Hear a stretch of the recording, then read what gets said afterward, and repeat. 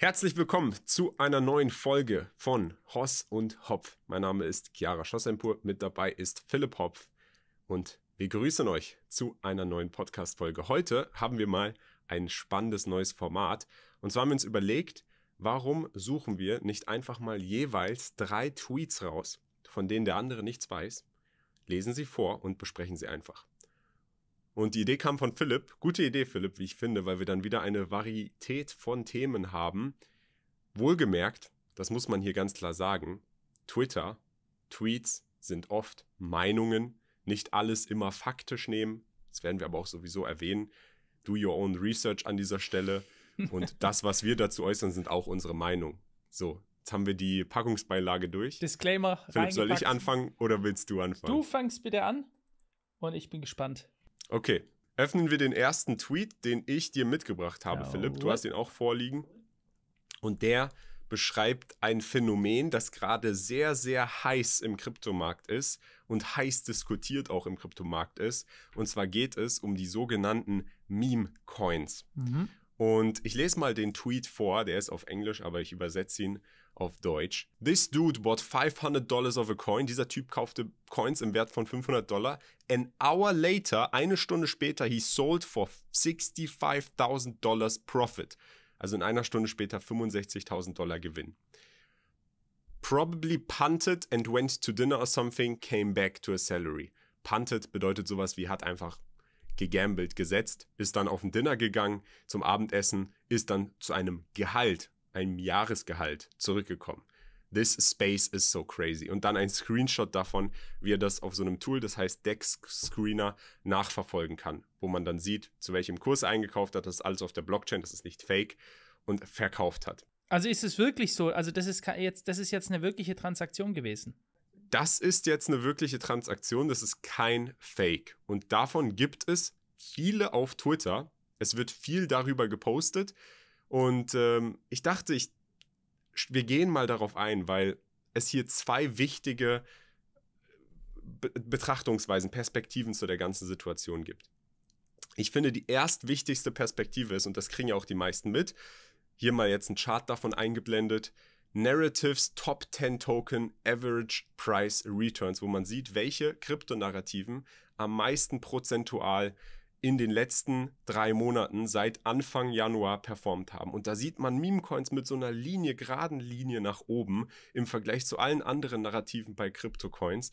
Und da sind jetzt die ganzen Erwartungen und Hoffnungen von allen Teilen, Marktteilnehmern, oh, Meme-Coins ist das neue Ding, mit Meme-Coins werde ich reich. Ich mache jetzt wie dieser Typ 100 Dollar rein und habe dann plötzlich 60.000 oder 120.000. Das erstwichtigste zu beachten ist, obwohl diese Linie einfach so nach oben geht. Ich habe es mit meinen eigenen Augen jetzt in letzter Zeit immer wieder und immer wieder mitbeobachtet.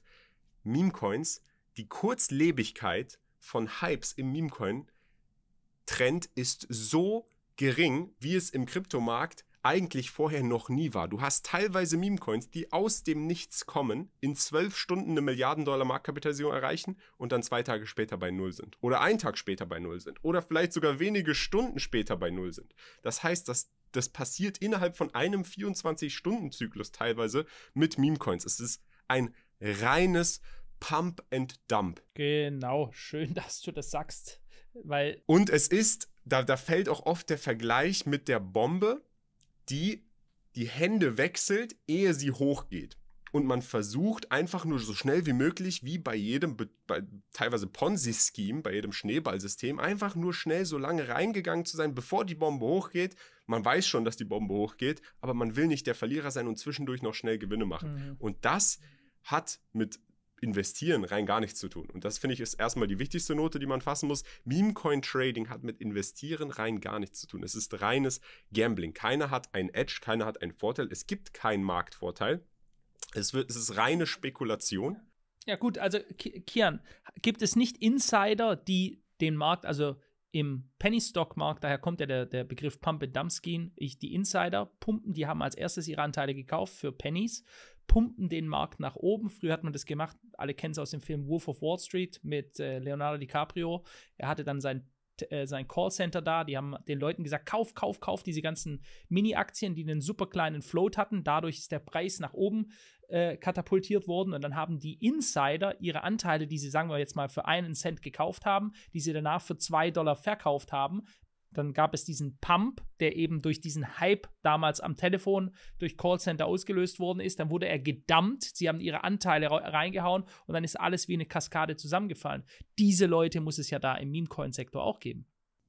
Genau, im Meme-Coin-Sektor ist eigentlich fast alles Insider oder Scam oder reines Glücksspiel. Es gibt kein Edge, es gibt kein, es gibt vielleicht eins, zwei Coins, wo man sagen könnte, basierend auf dem, wie das Meme ausgelegt ist, hat es Hype-Potenzial und das habe ich so geahnt, weil dann in Zukunft mehr Leute auf dieses Meme aufspringen und es populärer wird. Aber auch das ist meiner Meinung nach absoluter Bullshit. Und das, was bei den Meme-Coins aktuell passiert, auch wenn man diese gerade Linie nach oben gehen sieht, heißt nicht, dass man einfach jeden Meme-Coin kaufen kann, einen Meme-Coin kaufen kann und alles geht nach oben, sondern es das heißt, dass man zu 99,9% alles verlieren wird, wenn man nicht genau in diesem 4 Stunden Zeitfenster ein- und auszahlt, indem es beispielsweise diese einzelnen Gewinner wahrscheinlich zum größten Teil auch Insider gemacht haben. Mhm. Und da setzt auch ein andere, eine, darüber haben wir schon mal im Podcast gesprochen, eine kognitive Verzerrung im Gehirn des Menschen ein, wenn man diese Screenshots auf Twitter sieht von Einzelfällen. Und zwar das nennt sich Survivorship Bias. Das ist, wenn man die Wahrscheinlichkeit eines Erfolges systematisch überschätzt, weil man die erfolgreichen Personen oder stärker positiven Zustände eher sieht als die nicht erfolgreichen. Für jeden, der hier 65.000 Dollar aus 500 Dollar gemacht hat, haben 130 Leute 500 Dollar verloren. Das Geld kommt ja nicht aus dem Nichts, es wird von jemand anderem genommen und das Vergessen, das ver verblenden die meisten völlig und realisieren gar nicht, dass erstens das meiste im Meme-Coin-Trading wie so ein heiße, wie so eine heiße Bombe, die hin und her fliegt, ist, die hochgeht in so einer kurzen Zeit, dass es rein gar nichts mehr mit Timing, Abschätzen, Analysieren zu tun hat, sondern reines Gambling, reines Glücksspiel. Und zum anderen, dass man nur die Erfolgreichen, also nur die Erfolge auf Twitter zu sehen bekommt, die kriegen dann große Reichweiten, 300.000, aber die machen den kleinsten Anteil aus der Realität. Ja, Leute, Finger weg davon. Wir hatten das ja in unserem let letzten Podcast zum Thema OnlyFans. Falls ihr den noch nicht gesehen habt, ich fand, der war super spannend. Schaut euch den an. Da sind wir äh, auch die Liste durchgegangen der weltweit höchsten Earner bei OnlyFans. Es sind, glaube ich, acht. Acht von den zehn Top-Earnern sind Frauen. Äh, und da hängen sich alle drauf auf, dass eine Black China oder wie sie alle heißen, äh, diese meistens Rapper und, und Models, Erotikmodels, die ihre Körper äh, gegen Geld verkaufen auf OnlyFans, dass die dann 15, 15 Millionen Dollar im Monat teilweise verdienen. Aber es gibt eben Millionen, und zwar viele Millionen andere, die verdienen gar nichts.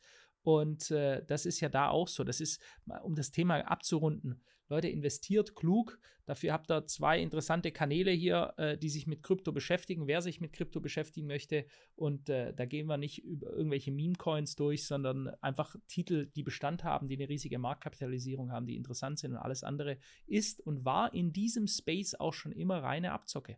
Gut, Philipp, dann bin ich gespannt, was dein erster Tweet ist. On to the next one. Mache ihn auf. Ja, es ist ein Tweet von Naib Bukele. Naib Bukele ist der Präsident von El Salvador. Er ist nicht nur irgendein Präsident von einem südamerikanischen Land, sondern er ist aktuell laut Umfragen der populärste demokratisch gewählte Politiker auf unserem Planeten. Naib Bukele bekommt Beliebtheitsraten zwischen 80 und 92 Prozent. Das ist weltweit am allerhöchsten so hoch, dass sogar welche sagen, er würde der erste demokratisch gewählte Diktator werden, weil die Leute ihm Rechte gewähren wollen, die ihm autoritäres Recht in, in seinem Land El Salvador geben wollen, weil er aber so viele extrem gute Entscheidungen getroffen hat, die ein Land, das ehemals die höchste Mordrate der Welt hatte in El Salvador, ähm, extrem sicher gemacht hat, wer sich aktuell informiert, was dort abgeht. Das ist wirklich super, super interessant und spannend ähm, was er umgesetzt hat. Er hat also eine der gefährlichsten Gangs, MS-13, die Mara Salvatrucha, die stammt ja eigentlich aus, ähm, aus El Salvador, die ist dann auch nach Amerika rübergeschwappt, weil El Salvadorianer eben dort äh, emigriert sind. Äh, extrem gefährliches Land, massive Wirtschaftsprobleme hatte nach vorne gebracht, hat die ganzen Leute von der Straße weggeholt, die Gangmitglieder hat sie wirklich hart über 80.000 Leute festnehmen lassen, in den Knast reingesteckt und seitdem ist einfach Ruhe. Ja, und die Leute jubeln, weil sie sagen, wir können entweder, endlich wieder durchatmen, wir werden nicht auf der Straße erschossen. Ähm, und er macht jetzt verschiedene Schritte gerade, um sein Land nach vorne zu bringen. Ja, jetzt erster Schritt war, um die, der Kriminalität Herr zu werden. Und einer der nächsten Schritte lesen wir jetzt mal vor, was er hier schreibt. We are offering 5,000 free passports, equivalent to 5 billion in our passport program, to highly skilled scientists, engineers, doctors, artists and philosophers from abroad. Ich übersetze das gerade mal auf Deutsch. Wir bieten hochqualifizierten Wissenschaftlern, Ingenieuren, Ärzten, Künstlern und Philosophen aus dem Ausland 5000 kostenlose Reisepässe im Wert von 5 Milliarden US-Dollar unseres Passprogramms an. Dies entspricht weniger als 0,1 Prozent unserer Bevölkerung, sodass es kein Problem darstellt, ihnen den vollen Bürgerstatus einschließlich des Wahlrechts zu gewähren. Die Leute bekommen also Bürgerstatus und Wahlrecht, ähnlich das, was sie in Deutschland machen wollen, bloß halt mit komplett unqualifizierten Leuten, Masseneinwanderung, möglichst schnell den Pass zu geben, möglichst schnell Wahlrecht zu geben also, dass Leute, die dann noch nicht mal richtig unsere Sprache sprechen, das bekommen sollen. Hier geht es darum, dass hochgebildete Leute, 5000 an der Zahl, insgesamt aber nur 0,1 Prozent der Bevölkerung, das bekommen sollen. Es geht noch weiter. Auch wenn ihre Zahl gering ist, werden ihre Beiträge enorme Auswirkungen auf unsere Gesellschaft und die Zukunft unseres Landes haben. Darüber hinaus erleichtern wir ihnen den Umzug, indem wir 0% Steuern und Zölle auf den Umzug von Familien und Vermögenswerten gewährleisten. Dies umfasst Gegenstände mit kommerziellem Wert wie Ausrüstung, Software und geistiges Eigentum. Bleiben Sie dran für weitere Details. So, warum habe ich diesen Post hier gebracht? Weil ich finde, das ist ein Vorzeigebeispiel für gelungene Migration bzw. Immigration ist, dass ich also, wenn ich sage, ich will Leute vom Ausland, dann sollte ich, und eigentlich ist das doch selbstverständlich, dann sollte ich schauen, dass das unisono, also im Ganzen grundsätzlich Leute sind, die das Land, damit die Bürger und die Wirtschaft des Landes voranbringen. Ich will also hochqualifizierten Zuzug aus dem Ausland haben, wie er es hier schon sagt, von unterschiedlichsten Spezialisten wie Ingenieuren, Ärzten, Künstlern, Philosophen und so weiter. So, Kian, was sagst du? Also ich finde erstmal diese Zahl 5 Milliarden Dollar für 5000 Passports interessant. Wie kommt er auf diese Zahl? Habe ich mir so auch gedacht. ein Pass in El Salvador wert, da habe ich direkt mal nebenbei nachgeschaut. Passportindex, was für eine Stärke, auf welchem Rang ist der Pass von El Salvador global? Und hier steht erst Rang 32, also gar nicht so schlecht. Ich sehe hier die Länder in grün. Europa kann man wohl Visa-free oder 90-Tage-Visa äh, größtenteils verreisen, Amerika nicht. Also ein Pass, Pass, der wohl für viele Leute Sinn macht, die nicht aus äh, Deutschland kommen oder einem westlichen Land kommen, wo sie einfach frei in viele Länder reisen können. Ähm, also ich muss sagen, ich finde das auch gut. Ich finde grundsätzlich sehe ich es ähnlich. Ich muss natürlich sagen, oder man muss natürlich festhalten, El Salvador viel kleiner. Wie viele Einwohner haben die? Sechs Millionen äh, im Vergleich zu Deutschland. Ja, sechs bis neun Millionen. Der BIP ist natürlich auch nichts im Vergleich zu dem von Deutschland. Also ähm, die müssen sich erst recht darum kümmern, dass sie keine Probleme bekommen mit äh, zu viel, in Anführungsstrichen, Sozialabgaben. Da ist Deutschland in einer besseren Situation. Aber ich finde grundsätzlich auch in Deutschland, egal wer nach Deutschland kommt, um ein besseres Leben für sich selber und seine Familie zu haben, sollte einen Mehrwert zur Gesellschaft beitragen und sollte auch äh, ja, positiv der Gesellschaft gestimmt sein und nicht negativ. Also man sollte nicht herkommen und das Ganze negativ betrachten und sagen, ich nutze es nur aus und will mich auch gar nicht anpassen und sogar die deutsche Kultur negativ betrachten, äh, sondern man sollte herkommen, dankbar sein, sich einleben in das, äh, was einem das Land bietet und dann eben auch einen Mehrwert dazu beitragen. Und ich finde, das sollte auch in Deutschland passieren, aber ich glaube, diese Meinung vertreten viele Leute. Aber ich kann mir gar nicht vorstellen, dass Deutschland äh, so ein Programm direkt von oben, von der Spitze runter, das gibt es ja auch ähnlich hier in, in Dubai. Da gibt es das sogenannte Golden Visa, auch für highly skilled, also genau. auch für hochqualifizierte Leute aus äh, Wissenschaft, Ingenieure, Ärzte und so weiter. Ähm, ja, schade, dass es so, so etwas in Deutschland nicht so richtig gibt, beziehungsweise schade, dass man vielleicht erstmal dafür sor sorgen sollte, dass die Leute, die ausgewandert sind, die Deutschen, die hochqualifiziert sind, dass die nicht auswandern und zurückkommen, ehe man in die Richtung gucken sollte. Ja, ich finde, vielleicht mal hier ein Statement von mir. Nur sein Glück zu suchen, weil man es im eigenen Land oder in seinem eigenen Leben nicht geschafft hat, erfolgreich zu werden, jetzt in ein Land zu gehen, wo man denkt, man hat mehr Chancen. Das alleine zählt für mich nicht als Grund einzuwandern, warum ich sagen würde, ach, du hier aus XY, Du suchst dein Glück woanders, komm herein. Ja? Wir messen deinen Puls. Da gibt es ja, wenn du dich erinnerst, ich weiß nicht, ob du die Serie früh gesehen hast, bei, Nar äh, bei Netflix Narcos. Da ging es damals so um die mexikanischen Kartelle und davor um Pablo Escobar. Auf jeden Fall, da gab es mal eine Szene, ich erinnere mich noch sehr gut daran. Da ist die Familie ganz am Ende von Pablo Escobar, an der Ende seiner Jagd, ist die Familie nach Deutschland geflüchtet. Und sie wurden dann aber in Deutschland an der Grenze aufgehalten, weil man herausgefunden hat, wer sie sind. Die hatten massiv Bargeld dabei und so weiter. Auf jeden Fall, damals hatte der in der Serie der Polizist, der dieses ganze Szene erklärt hat, hatte gesagt, in Deutschland geben sie allen einen Pass, die einen Puls haben. Oder in Deutschland braucht es nur einen Puls, damit du einen deutschen Pass bekommst. Und äh, das ist, wie gesagt, da sprechen wir, ich glaube, das waren die 80er Jahre, wenn ich mich nicht täusche. Also damals schon war Deutschland extrem lax darin, welche Leute sie ins Land reinlassen. Es reicht für mich nicht einfach nur den Wunsch zu haben, woanders hinzukommen. Wenn ich ein Land habe, dann will ich, dass die Bürger des Landes und das Land im Ganzen, das muss meine Verantwortung sein als Politiker, dass die vorankommen, dass es der Gesamtgesellschaft nachher besser geht als vorher. So wie ich auch als Mensch danach strebe, dass es mir besser geht als gestern oder besser als nächstes Jahr. Wir streben danach weiterzukommen. Und deswegen sollte es eigentlich mandatory sein, dass gerade in Deutschland wo wir ein Land sind, wo Schwerindustrie noch da ist, dass wir schauen, okay, wir, wir holen uns genau die Fachkräfte, von denen ihr immer redet, die Fachkräfte ins Land, die wir auch wirklich brauchen. Und die Leute, die einfach nur da sind und Analphabeten sind als Beispiel, die null Bildung haben, die also auch null zuträglich sind für die Gesellschaft, die wollen wir da auch nicht. Und das ist ein völlig normaler, legitimer Gedanke und legitime Äußerung, die man treffen kann, die in vielen anderen Ländern auch so umgesetzt wird. Ja? Und ich finde, das ist sehr sehr gut, dass man den Anreiz bietet, Passport, 0% Steuern, um solche Leute anzulocken in sein Land, die dann wiederum die Gesamtgesellschaft und die Wirtschaft nach vorne bringen. Ich muss sagen, also ich sehe das ein bisschen anders. Ich, ich habe kein Problem oder hätte kein Problem damit, wenn Menschen in ein Land gehen, weil es ihnen mehr Möglichkeiten bietet, sich weiterzubilden und auch einen Mehrwert fürs Land zu bringen. Ich finde, es sollte dann aber einfach vernünftig getrackt werden. Also ich finde, dass dann gegen Kriminalität direkt Maßnahmen ausgeführt werden sollten und dass Menschen, die herkommen und den Sozialstaat ausnutzen, aber nichts dazu beitragen, auch direkt wieder zurückgehen sollten. Aber jeder, der in ein westliches Land kommt, weil es ihm nicht die Möglichkeiten bietet, in seinem Heimatland das zu erreichen, überhaupt auch an Bildung, was er dort braucht, um überhaupt etwas für seine Familie und sich zu ermöglichen, das finde ich nicht verwerflich.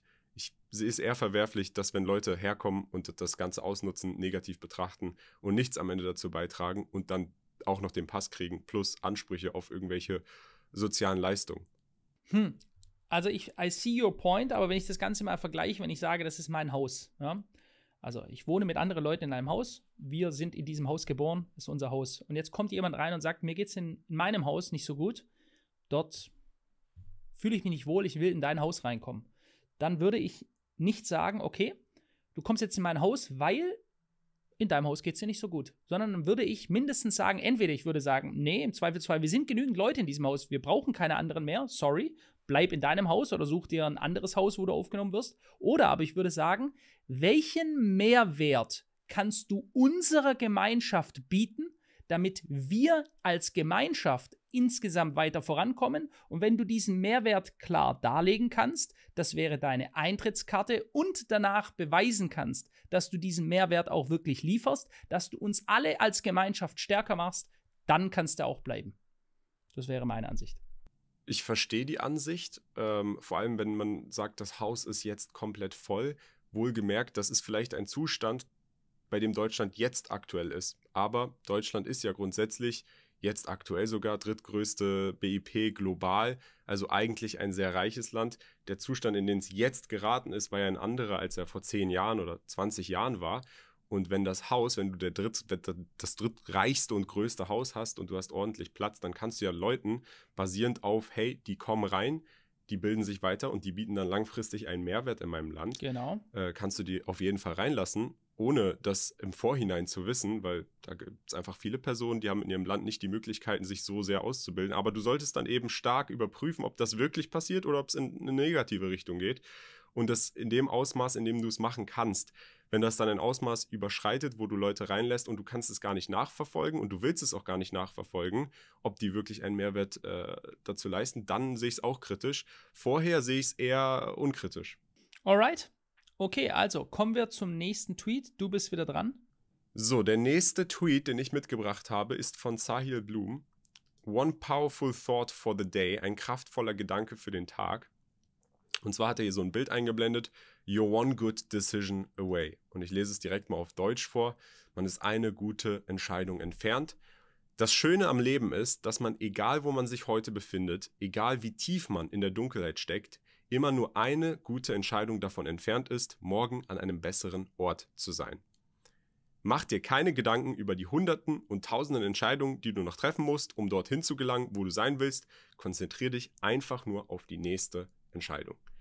Und das, finde ich, ist wirklich etwas, vor allem Personen, die das Gefühl haben, sie befinden sich aktuell in einem Loch, negativ, sie wissen nicht, wie sie rauskommen, sie wollen Fitness durchziehen, sie wollen ihre Karriere, ihre persönliche Entwicklung durchziehen, ihre Arbeit durchziehen, sie haben große Ziele und wollen dahin kommen. Und das Gefühl haben, es ist alles zu viel, jetzt dahin zu kommen. Sie wissen nicht, wo sie anfangen sollen. Eine einzige gute Entscheidung baut auf alles andere im Nachgang auf. Und äh, vielleicht für die Leute nochmal, einfach mal so ein Zusatztipp für jeden, der das Gefühl hat, er ist stuck, also er ist in einem Loch oder er steckt fest. Und kriegt es nicht hin, positiv seine Ziele durchzuziehen. Steh eine Woche lang jeden Tag um 7 Uhr auf. Das erste, was du machst, ist trainieren oder sportlich dich bewegen für eine Stunde. Bleib den ganzen Tag wach geh deine Aufgaben durch und schau, was das mit dir macht. Oftmals sind es wirklich die einfachsten, kleinsten Veränderungen, die dann so einen positiven Impuls in eine positive Richtung auswerfen. Ja, das ist ein sehr wichtiger Punkt. Ich denke für Leute auch, die immer, die vielleicht in einer Negativspirale sind und da nichts rausgehen. Ich habe erst, hat mir jemand geschrieben, hat gesagt, was soll ich machen? Er wäre, er hat eigentlich diese ganzen hm, er will so viel aus seinem Leben machen, aber er ist Gaming-süchtig. Ja, also er sitzt irgendwie vor einem Computer oder sonst irgendeinem Device und zockt die ganze Zeit. Ja. Was kann man machen? Man kann mal anfangen mit einer kleinen Entscheidung, sich aus dem ersten kleinen Loch, sage ich mal, rauszuholen. Ja. Oder anders, wenn man sich das bildlich vielleicht vorstellen möchte, eine Entscheidung treffen, die in eine andere Richtung geht nicht jetzt gleich wieder auf den Bildschirm schauen, obwohl man ein schlechtes Gewissen hat. Man zockt und man weiß, man fühlt sich schlecht dabei. Das ist ungefähr so. Ich vergleiche das immer mit, wenn einer ein Raucher ist und der raucht einfach sehr, sehr gerne und der steht dazu und der schämt sich nicht und der fühlt sich gut dabei, dann sage ich Chapeau, mach dein Ding, whatever. Ja, ist deine Sache solange du nicht jemand anderen damit belästigst. Aber bei den meisten ist es ja so, innerlich wissen sie, dass sie etwas tun, was ihrer eigenen Gesundheit mehr oder minder massiv schadet, langfristig auf jeden Fall, und sie tun es trotzdem. Das heißt, sie genießen es noch nicht mal, was sie tun. Ich kann mir vorstellen, bei jemandem, der zockt und ein compulsive Gambler ist, also der die ganze Zeit zocken muss, der hat, der fühlt sich ja überhaupt nicht gut dabei. Ist wie einer, der Drogen konsumiert und man denkt dann irgendwie, ah, der hat so einen tollen Rausch. Ja, nee, den hat er nicht, weil er schämt sich und er hasst sich selbst dafür, während er das konsumiert. Das heißt also, er macht es und er fühlt sich noch scheiße dabei. Das ist ja quasi, die zeigt die doppelte Sinnlosigkeit der ganzen Sache, ja.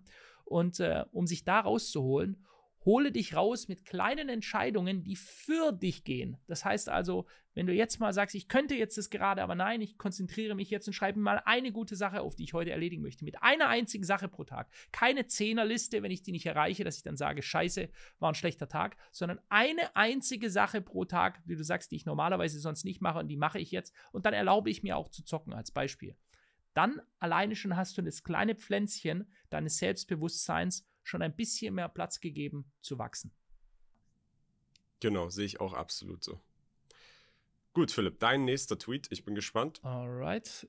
So, vorher hatten wir ja Naib Bukele, jetzt haben wir Henning Rosenbusch. Ich finde das ist wieder was Politisches, aber ich finde das erstaunlich, was wir hier lesen dürfen. Ja. Die Märkische Allgemeine schreibt hier, Oranienburger Stadtwerke offenbaren gravierende Engpässe in der zukünftigen Stromversorgung. Okay, und was bedeutet das genau? Was wird hier geschrieben? Um das Stromnetz in Oranienburg weiter stabil zu halten, können die Stadtwerke ab sofort keine Neuanmeldungen oder Leistungserhöhungen von Haushaltsanschlüssen mehr genehmigen. Dies betrifft beispielsweise den Anschluss von Wärmepumpen und Ladeinfrastruktur. Auch neue Gewerbe- und Industrieflächen können derzeit nicht an das Netz angeschlossen und mit Strom beliefert werden. Also genau das, was doch eigentlich die Politik, die diese Zustände hier, nämlich dass wir eine miserable Energieversorgung haben, überhaupt hervorgerufen haben, das wurde durch die Politik hervorgerufen, haben gefordert, dass wir uns jetzt alle Wärmepumpen holen sollen, unter massivem finanziellen Aufwand für die ohnehin stark belastete Bevölkerung. Gleichzeitig haben sie gesagt, sie stellen sich vor, für die Zukunft unsere Gesellschaft zu elektrifizieren. Wir sollen am besten alle unsere Verbrennermotoren hinter uns lassen und umsteigen auf Elektrofahrzeuge. Jetzt wiederum sagen die Stadtwerke, welche die Energie versorgen sollen, um die Ziele dieser Regierung umzusetzen, dass wir a. keine neue Wärmepumpen anschließen können, hier in Oranienburg, weil dafür nicht genügend Strom da ist, b. keine neuen Ladestationen, weil dafür nicht genügend Strom da ist, um diese Elektrofahrzeuge dann zu laden, und dass neue Industrie, die wir so dringend brauchen, wir hatten es ja vorher gesagt, am Beispiel von El Salvador, wie Industrie und Know-how angezogen wird, indem man ihnen Incentives, Vorteile liefert. Das sagen sie jetzt auch, können wir nicht mehr annehmen. Ab sofort ist Schluss. Es ist nicht mehr genügend Infrastruktur da. Ich finde, das ist sehr bezeichnend für das, was aktuell, was die Energiekrise in Deutschland angeht, was hier so läuft. Interessant, das ist natürlich etwas, was einen dann von Wachstum auch abhindert kannst, du hast keine neue Gewerbe- oder Industrieflächen, die auch nicht ans Netz angeschlossen werden können. Das heißt, da kann gar nichts mehr wachsen in dem Zeitraum. Ähm, wir haben ja schon mal eine Folge darüber gemacht, lang und ausführlich in Sachen deutsche Wirtschaft und uns äh, ist dabei klar geworden, beziehungsweise das sollte jedem klar sein, wie stark die deutsche Industrie abhängig ist von günstigem Strom. Mhm. Vor allem dann, wenn es gar nicht mehr geliefert werden kann, dann wird es sehr kritisch. Und das war ja dann ein Zusammenkommen aus langer, mehrjähriger, schlechter Politik, auch in Sachen Atomkraftwerke oder Atomenergie, die abgeschaltet wird. Dann macht man sich abhängig von einem großen Player, Russland, und dann kappt man den auch, obwohl man selber nicht in einem Krieg mit ihm steht. Ähm, ja, also es sind viele, viele Fehlentscheidungen über die Jahre hinweg gewesen, die dann zu so einer Situation jetzt hier führen. Da würde ich gar nicht mal so sehr die aktuelle Regierung ausschließlich für verantwortlich machen, sondern äh, es ist ein Zusammenkommen der, der letzten 10, vielleicht 15 Jahre. Korrekt, aber ich, und ich bin immer dabei zu sagen, unter Merkel wurden extrem viele Fehler gemacht. Ganz klar, Atomausstieg unter Merkel geschehen, aber, aber wenn ich sehe, dass die Lage immer prekärer wird, dann habe ich die Möglichkeit, wenn ich mich aktuell an der Macht befinde, zu sagen, okay, wir setzen jetzt alle Hebel in Bewegung, die es gibt, und wir stemmen uns dagegen und wir schaffen uns eine bessere Zukunft. Und genau das Gegenteil von dem haben sie gemacht. Ja, sie haben die Situation noch mehr verschärft. Wir sprechen ja aktuell darüber, Energiesicherheit, Russland, eine Situation. Die andere wäre, wenn wir schon so einen tollkühnen Move machen, uns selbst ins Bein zu schießen, dass wir dann sagen, okay, alles klar, machen wir, wir sanktionieren Russland hart, aber jetzt haben wir eine neue Situation und wir lassen alle Atomkraftwerke am, am Strom dran, die laufen auf Höchstleistungen, um, um die Energiesicherheit unseres Landes weiter zu gewährleisten. Was haben sie gemacht? Nee, sie haben sich gesagt, das reicht noch nicht. Sich zu schwächen durch Russland reicht nicht. Wir schalten gleichzeitig die Atomkraftwerke, die letzten, die wir noch hatten hier in Deutschland, schalten wir ab, um unsere Situation noch zu verschlimmern. Und das ist die aktuelle Regierung. Das ist die faktisch. Sie haben diese Entscheidungen getroffen. Und äh, hier noch ganz kurz in diesem Artikel, um sich mal klar zu machen, wie lange das dauert, ist jetzt nicht irgendwie in einem halben Jahr behoben. Im Artikel steht, die Behebung der Stromzwangslimitierung dauert laut Artikel schlappe vier bis fünf Jahre.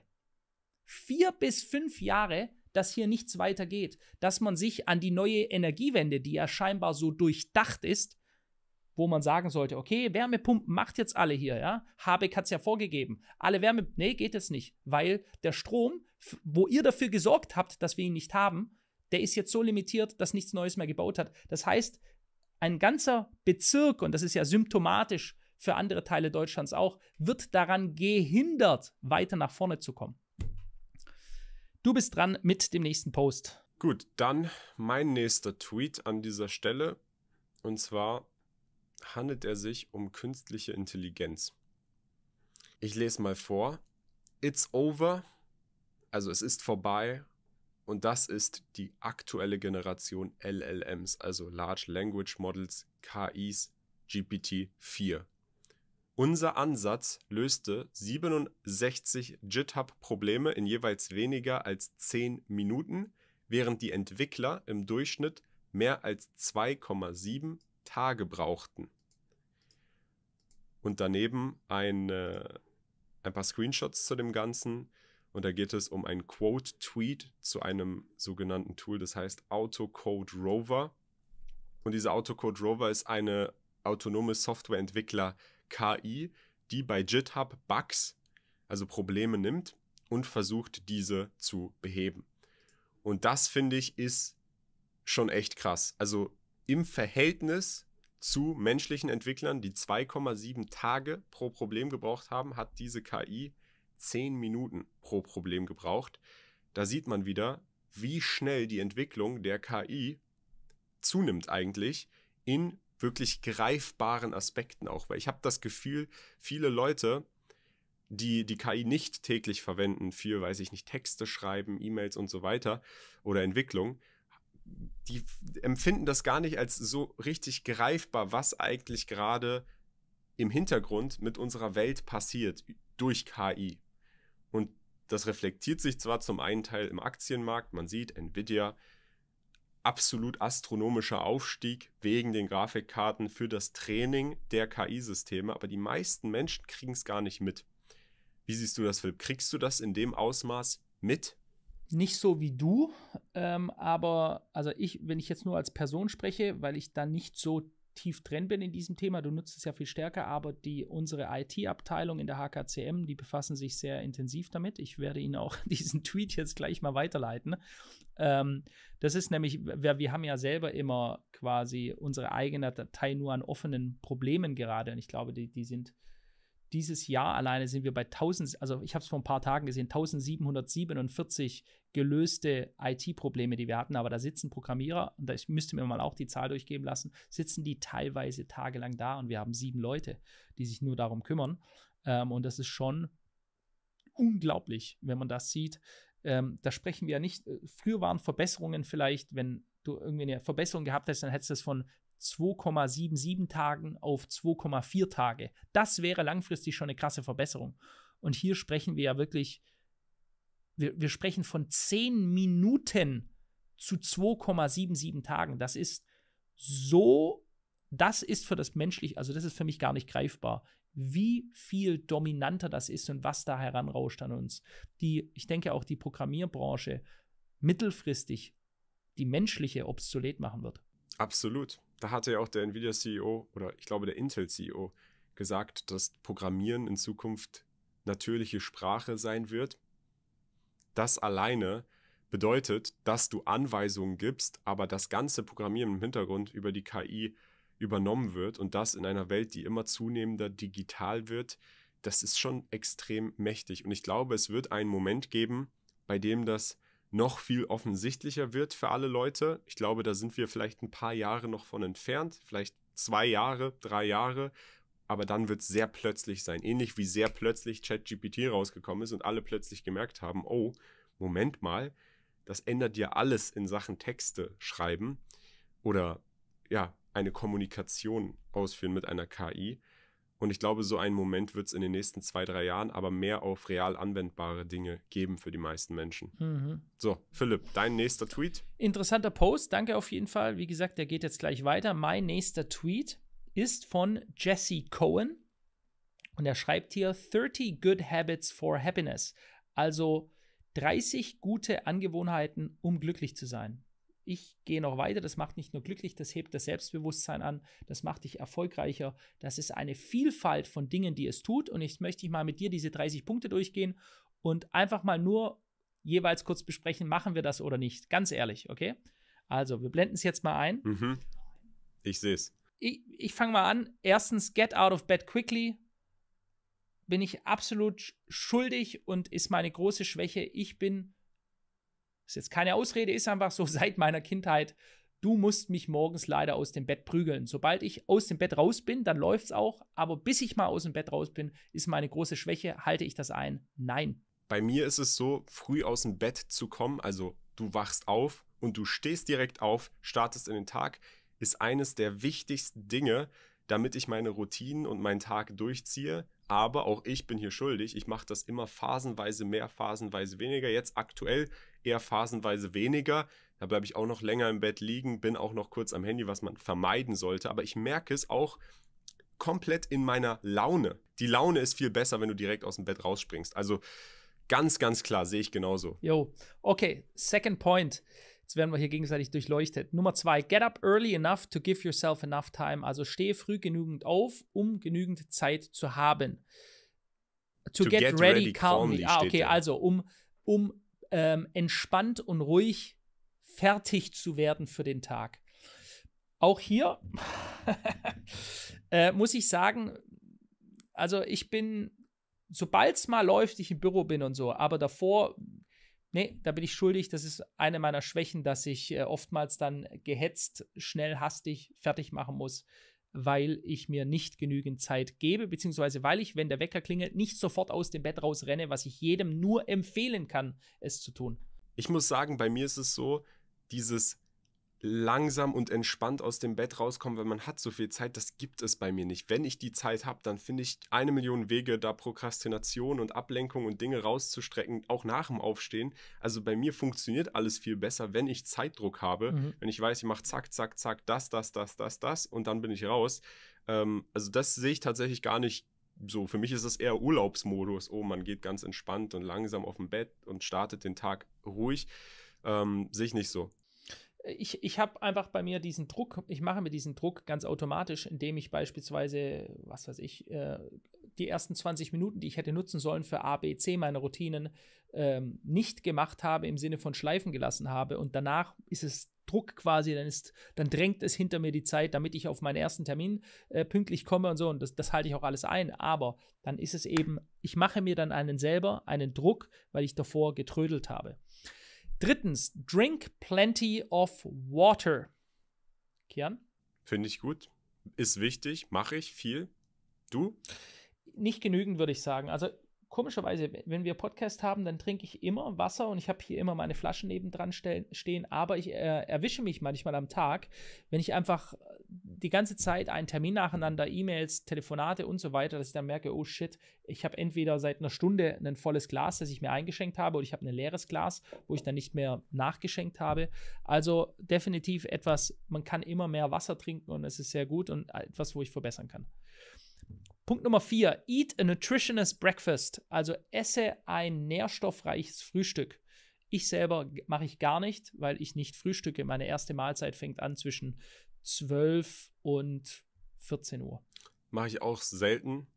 Wenn, dann nur Proteine und Fette. Ähm, eher, ich trinke eher BCAAs am Morgen, beziehungsweise nachdem ich mein Limetten-Salzwassergetränk hatte zum Hydrieren, danach trinke ich BCAAs und dann irgendwann einen Kaffee und dann erst irgendwann Frühstück, aber das ist dann auch schon wieder mitten des Tages. Also nee, das äh, macht mich eher langsam. Wenn ich frühstücke direkt, dann fühle ich mich eher so, der Körper verdaut und ich bin noch nicht so richtig äh, angekommen. Mhm. Also geht mir genauso. BCAAs nehme ich seit ungefähr drei Wochen. Das war das einzige. Drei Pillen rein und, und fertig. Äh, vierten, äh, fünftens, move your body. Also bewege deinen Körper. Äh, nicht jeden Tag, aber ich habe einen, äh, einen Fitnesstrainer genommen, der ein absoluter Sadist ist und äh, ich verfluche ihn auch während dem Training. Also das ist wirklich, das sind Beleidigungsorgien. Aber ich muss sagen, der drischt mich Montag und Donnerstags. Montag Oberkörper, Donnerstag Unterkörper. Und seitdem, ich, bin, ich habe zwar nur Dauermuskelkater die ganze Zeit, aber ich merke einfach, wie gut mir das tut. Einen festen Termin zu haben, zur festen Zeit, 6 Uhr aufstehen, 7 Uhr im Fitness stehen und ähm, mache ich und tut mir extrem gut. Ja, absolut wichtig. Körperliche Bewegung, sei es ein Spaziergang am Tag, das kann schon viel Veränderung ausmachen für Leute, die sich gar nicht bewegen. Training natürlich noch besser, am besten sogar in Sonnenlicht am Morgen. Ich habe jetzt überlegt, vielleicht mal probeweise morgens frühs Golfen auszuprobieren, weil mhm. du dann umgeben bist von Grün, du hast Sonnenlicht, hier zumindest in Dubai, und du bewegst dich direkt. Plus, es hat auch nichts mit Muskelkarte zu tun. Das heißt, man kann es eigentlich jeden Tag durchziehen. Ja. Vielleicht probiere ich das mal demnächst aus. Dann das wird darüber. interessant. Das berichtest du bitte, weil da sage ich dir, Golf ist eines der schwierigsten ähm, ja, Sportarten der Welt, weil es so krasse Koordination und Tagesform fordert. Also ich bin gespannt, was du da sagst. Da musst du dir selber Geduld lassen. Äh, selbst ein Tiger Woods beispielsweise an schlechten Tagen trifft die Bälle nicht so gut. Also, nächster Punkt. Do something you enjoy every day mache ich. Ich mag meine Arbeit sehr. Ähm, ich liebe die Dinge, die ich, die ich tue, die Challenges, die Projekte. Äh, und ich versuche immer, selbst wenn ich abends sage, ich gehe jetzt zu einer Massage oder ich gehe zum Sport, darauf freue ich mich. Ich mache einfach etwas, worauf ich mich freue. Ganz, ganz wichtig für den eigenen Tag, äh, damit das nochmal so einen extra, hm, ich will nicht sagen Sinn gibt, aber noch so einen extra Punkt, worauf man sich freut. Ich glaube, das machen die meisten unterschwellig mit negativen Dingen. Mhm. Etwas zu machen, was man genießt, macht eigentlich jeder am Tag. Nur es gibt Menschen, die haben dann Dinge, die einen positiven Einfluss haben auf ihre Zukunft nachhaltig, die sie machen, die sie genießen, die dann zu einer positiven Förderungsschleife führen. Und dann gibt es Menschen, die machen dann etwas Negatives am Ende des Tages, vielleicht weil sie den ganzen anderen Rest des Tages etwas gemacht haben, was sie nicht mögen. Und das führt dann zu etwas Negativem. Das heißt, da kann man sich bewusst Habits Tätigkeiten raussuchen, die nachhaltig positiv auch sind, die man trotzdem genießt. Ja. Um, ähm, plan and prep your day the night before. Also plane und präpariere deinen Tag die Nacht davor. Das mache ich wirklich und zwar seit vielen Jahren. Ich habe es jetzt in meinem Büro liegen, aber ich habe meinen Helfrecht-Tagesplaner und dort wird mein gesamter Tagesplan reingeschrieben, Termin nach Termin nach Termin, rechte Seite, linke Seite, die Dinge, die ich allgemein erledigen muss. Und ohne das wäre ich verloren. Das ist also eines der besten Dinge, die ich überhaupt in meinem Leben mache um nach wie vor meine Routine zu halten. Das stimmt auch mit dem nächsten Punkt hier überein. Keep a prioritized To-Do-List. Für mich ja. auch To-Do-Listen und Planung der Tage sind das A und O. Ohne Plan geht gar nichts. Richtig. Und das würde ich auch jedem an, ans Herz legen. Wenn ihr das Gefühl habt, ihr steckt fest, wenn ihr das Gefühl habt, ihr wisst nicht, wie es weitergeht, plant das, was ihr macht, auch wenn es nur kleine Dinge sind, plant sie euch aus und begeht diesen Plan. Und während ihr den Plan begeht und Dinge abhakt, kommen immer neue Dinge dazu und dann befindet ihr euch schon in einer positiven Aufwärtsspirale. Ja. Und da ist eigentlich auch die nächsten zwei Punkte, Journal Daily und Visualize. Also Journal Daily wäre wahrscheinlich sowas wie einen Tages, äh, nee, äh, so ein ne, ne, Tagebuch, Tagebuch, zu führen, denke ich, ja. Mache ich nicht, habe ich noch nie gemacht. Ist sicher eine tolle, interessante Art, auch zu, zum nächsten Punkt Visualize, also visualisieren. Das geht alles nämlich so mit ein. Wenn ich meinen Tag nochmal Revue passieren lasse, visualisiere ich meinen Tag. Und da kann ich mich ganz bewusst darauf konzentrieren, was sind die Dinge, die gut gelaufen sind, was sind die Dinge, die schlecht gelaufen sind. Ich fördere die Dinge und gebe dem mehr Energie, was gut gelaufen ist, und ich entziehe dem Energie, was schlecht gelaufen ist. Und visualisieren im Allgemeinen hat ja viel mit Glaubenssätzen zu tun. Eines der wichtigsten Dinge überhaupt, sich immer wieder zu visualisieren, was man erreichen möchte und dankbar dafür zu sein, was man hat. Punkt Nummer 12. Set and uphold boundaries around your work times. Ja, also ähm, ich glaube, da sind wir beide schuldig, mhm. dass wir das wahrscheinlich nicht so gut machen, dass wir unsere Arbeitszeiten dann so einschränken, wie man sie wahrscheinlich einschränken sollte. Aber ja, den Weg haben wir uns ausgesucht, Philipp. So sieht's aus. Und der Preis ist heiß und es ist immer die Frage, was will ich nachher und bin ich bereit, die Konsequenzen zu nehmen. Punkt Nummer 13. Take a proper lunch break. Nope, mach ich auch nicht. Absolut scheiße bei auch mir. Wenn es halt irgendwie passt, dann haue ich mir was rein in keinster Weise gut oder so, ja, Leute. Ihr seht, äh, ich würde sagen, wir sind jetzt schon recht medium äh, erfolgreich in dem, was wir machen, der Kian und ich. Und trotzdem setzen wir nicht alle Punkte um. Ja? Das gibt also auch für uns immer Raum zur Verbesserung noch weiterhin. Dann äh, 14, Stretch every 30 to 60 Minutes. nee, das mache ich überhaupt nicht. Also hat hab mich ein bisschen verwundert, so, wo ich, ich mir das durchgelesen habe, sich alle 30 bis 60 Minuten zu stretchen. Pff, interesting. Ja, warum nicht? Vor allem, wenn man im Alter voranschreitet, ist das sicher keine unkluge Idee. 15, äh, spend some time outdoors each day.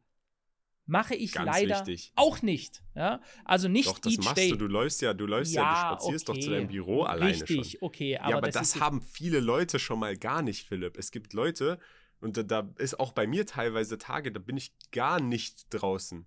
Und das ist immer katastrophal. Da Ja, fühlst du dich danach, wie okay. als hätte ich einen Zug überfahren. Richtig, aber trotzdem sage ich, da bin ich jetzt nicht viel besser, weil ich zwei Minuten äh, von, von meiner Wohnung ins Büro laufe.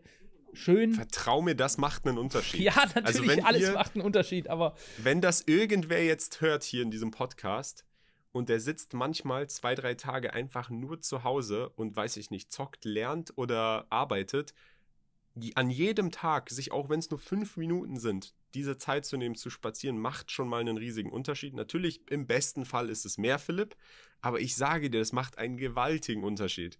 klar, ja, ich, kein Widerspruch, recht hast du. Okay, also, äh, Punkt Nummer 16, have a wind down routine before bed. Ah, wind down routine before bed. Also habe eine Routine, die dich runterkommen lässt vor dem Schlafengehen. Schuldig habe ich teilweise nicht, ja. Also man, da gibt es tolle Wege, quasi in ein Buch zu lesen, anstatt ins Handy reinzuschauen oder in ähm, blaues Licht zu bekommen, bewusst Stunden vorher schon eine Blaulichtbrille aufzusetzen und so weiter und so weiter, sich nicht mehr mit Social Media zu befassen, bevor man schlafen geht. Äh, Ich bin teilweise leider Nichts zu essen vor allem äh, auch einfach und wichtig. nichts zu essen, ja. Also ich futter teilweise kurz vorm Schlafengehen noch, weil ich halt einfach keine Zeit hatte davor. Und ich äh, kann auch sein, dass ich noch wirklich bis zehn Minuten davor, bevor ich ins Bett gehe, mich noch um irgendwelche Arbeitssachen kümmere. Nicht gut, aber ist so. Nächster Punkt, Practice Gratitude. Das mache ich definitiv seit vielen, vielen Jahren. Practice Gratitude bedeutet, trainiere Dankbarkeit. Eines der wichtigsten Dinge, da bin ich so, so dankbar, dass ich das mache, dass ich das für mich erkannt habe.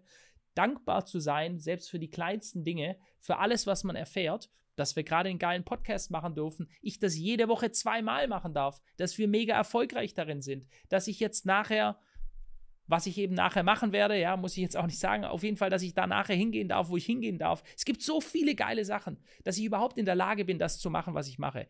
Practice Gratitude, also trainiert eure Dankbarkeit, ist eines der besten und sichersten Wege, erfolgreicher zu werden im Leben. Dann haben wir den nächsten Punkt, Practice Self-Care. Das ist eine ähnliche Sache, also sei gut zu dir selbst. Viele Leute machen sich selbst fertig, beleidigen sich, sind sich selbst keine guten Freunde. Das ist auch das, was da etwas weiter unten steht. Ähm, ja, ich denke, Kian, grundsätzlich tue dir selbst Gutes. Das ist unglaublich wichtig. Man muss an sich selbst glauben, damit man das umsetzen kann, was man vorhat. Und selbst wenn es manchmal schwierig ist, an sich selbst zu glauben, ist es trotzdem das Fundament von jeglicher Positivität und den positiven Dingen, die man danach macht. Also unglaublich optimistisch in sich selbst zu sein, ist nichts Negatives. Es ist eher etwas Positives, als Richtig, dass es negative Einflüsse hat. Genau. Und dann Punkt Nummer 19, Use Affirmations. Das ist genau das. Affirmationen, Glaubenssätze, Ziele. Wenn ich zum Beispiel in meinem Glaubenssätzebuch schreibe, ich bin froh und dankbar, dass ich tolle Ideen habe, mein, dass mein Immunsystem stark und unbezwingbar ist. Ja, das sind Dinge, die sage ich mir selber, damit es genauso ist, damit meine Realität genauso aussieht. Eines der wichtigsten Dinge im Leben überhaupt.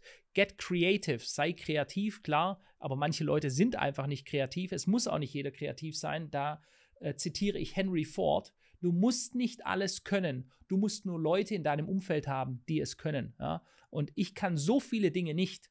Und deswegen habe ich ein hervorragendes Team in meiner Firma. Analysten, die besser sind, IT-Leute, die besser sind, Writers, also Autoren, die besser sind, selbst Geschäftsleute, die besser sind als ich. Ja? Ich kann mich auf meine Rolle fokussieren, weil ich andere Leute habe, die das können, was ich nicht kann. Und deswegen ist es so wichtig, sich ein gutes, einen nach vorne bringendes Umfeld um sich herum zu schaffen. Und dann das nächste, be your own best friend. Das hatten wir ja gerade schon besprochen, Kian. Kian, bist du gerne auch mal alleine? Philipp, ich bin fast den ganzen Tag nur alleine. Und bei mir ist es so, ich kann mich auch nicht konzentrieren so richtig auf das, was ich mache, wenn ich umgeben bin von zu vielen Personen. Mhm. Also ich habe absolut kein Problem damit, alleine zu sein. Ich glaube, es ist auch unglaublich wichtig, alleine zu sein. Nicht nur auf die Arbeit bezogen, sondern es gibt viele Menschen, die sind nie komplett alleine mit ihren Gedanken. Sei es irgendwo am Spazieren mit Handy, mit einer anderen Person oder mit Musik. Nie einfach nur alleine mit den eigenen Gedanken. Das ist unglaublich wichtig. Meditieren, unglaublich wichtig. Das ist eine Art von Meditation. Mhm. Und die, die meisten Menschen haben das ausschließlich so als äh, Duschgedanken. Das kennt ja jeder bestimmt, wenn er in der Dusche ist und da ist dann keine Ablenkung. Da hat man die Augen zu, da ist man ganz alleine. Das Einzige, was auf dich prasst, ist das Wasser, außer man macht sich jetzt noch Musik an. Und dann kommen diese Duschgedanken zustande. Das passiert öfter, wenn man das selber erzwingt, indem man einfach alleine mit sich selber Zeit verbringt, egal wo. Der Duschgedanke, du teilst deine Gedanken nur mit dem Schwamm.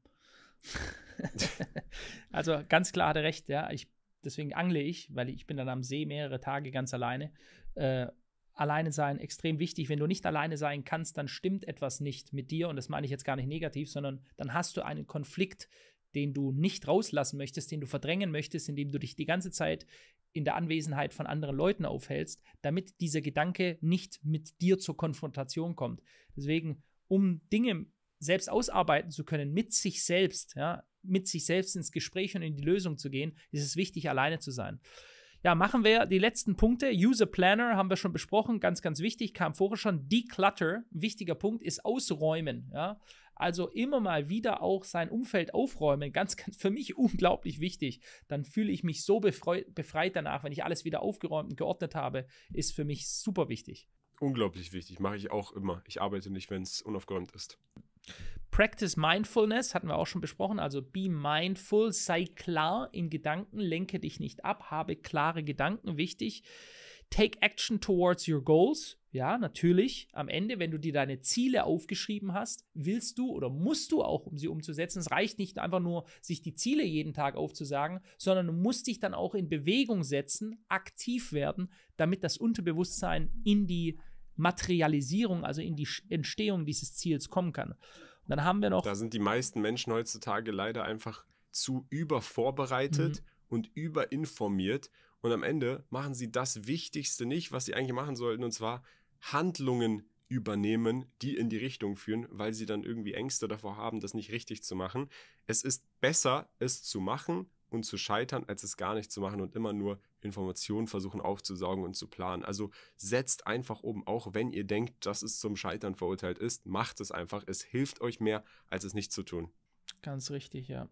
Ähm, dann haben wir Learn Something New Every Day. Ja, das haben wir ja schon besprochen. Das sollte man, es ist eine tolle Sache, einfach sich mit einer neuen, einer einzigen neuen Sache jeden Tag zu beschäftigen. Eine Sache zu tun, die man vorher noch nicht getan hat. Das bringt einen unglaublich weiter.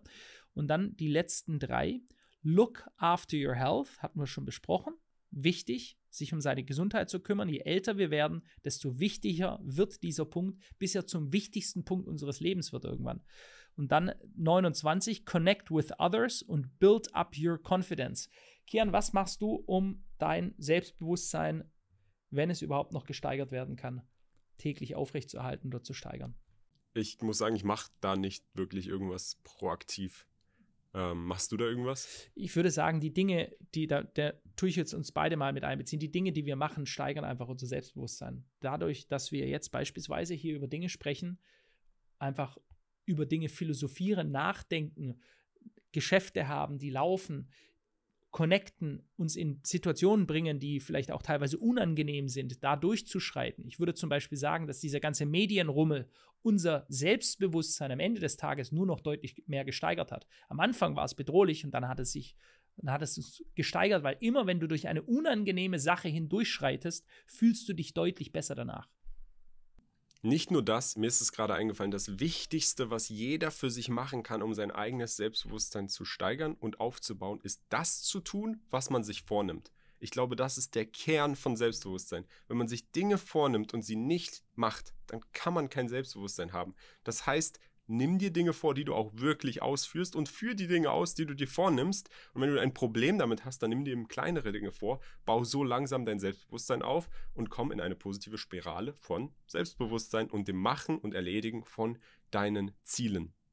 Jo, Amen, ganz toll gesagt und auch das haben wir jetzt gemacht. Wir haben unsere Aufgaben hier heute erfüllt. Jeder hatte seine drei Tweets. Meiner war jetzt hier leider sehr viel länger, ähm, aber ich hoffe, das war da war für alle was dabei heute. Ähm, schreibt es gerne mal in die Kommentare rein, ob euch das gefallen hat, ob wir dieses Format in Zukunft aufrechterhalten sollen. Kian, war schön. Ähm, ich wünsche dir jetzt alles Gute. Bis bald an die, an die ganze Community. Macht's gut und schöne Woche. Ciao, ciao. Bis dann. Ciao.